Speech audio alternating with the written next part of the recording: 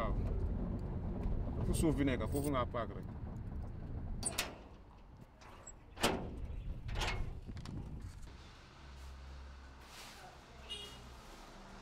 I normally used to print banners.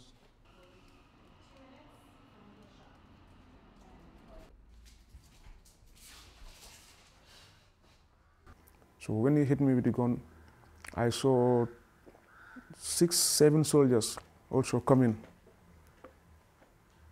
coming towards me. So one of them, he pushed me to get inside the office. So when he pushed me, they gave me a chair to sit. We said, you are, the, you are the very one bringing confusion in the country. Who told you Gambia has decided? What did Gambia decide? Just tell me what did Gambia decide? So when he said that, I look at him, I couldn't respond, and the other guy also come and hit me with the gun for the second time in my knees. So when that happens,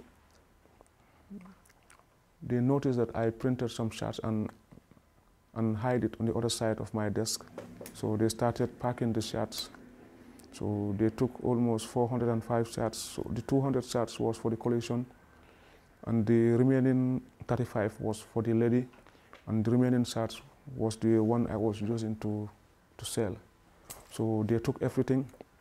So when they took the shots inside their pickups, they came inside the office again. They destroyed my computers, my printers, and my heater press machine. They destroy everything. I don't, I don't know them because some of them they were on mask. I don't know where we were going until I reached Banjul. So that was the first day I, I, I know this is NIA. So they took us to the NIA. But but before before yeah before before we reached Banjul, they were torturing me inside the inside the inside the vehicle, hitting me with their guns, and one of them said, what, "What's your name?" Told him Tijan. Said your surname. Said Barrow. Say your surname will not favor you. You will spend your life in jail. We will kill you and Barrow and you will print these t-shirts in hell.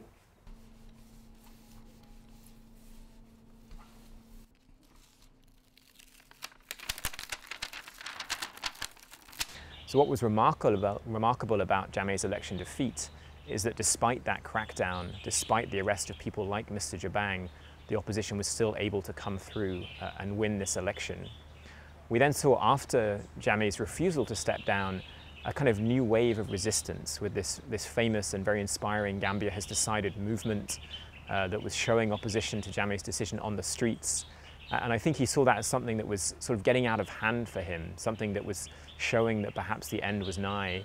And so he did also crack down on them. He arrested people simply for wearing Gambia has decided t-shirts, people who were picked up, beaten, uh, and then released a few days later, or picked up and who spent a bit more time in, in detention. Pre-camp, like around the campaign, and then Yeah, it would be- about a dozen or, or so. Well, I think first of all it was a sign that the, sec- that the security forces saw the writing was on the wall. They saw uh, ECOMOG forces literally at the gates uh, of Jammeh's government and a sign that ultimately this would be over and so they wanted to show their commitment to a more peaceful and, and more democratic Gambia.